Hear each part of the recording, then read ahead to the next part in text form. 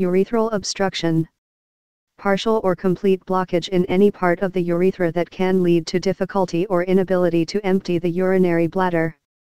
It is characterized by an enlarged, often damaged, bladder with frequent urges to void.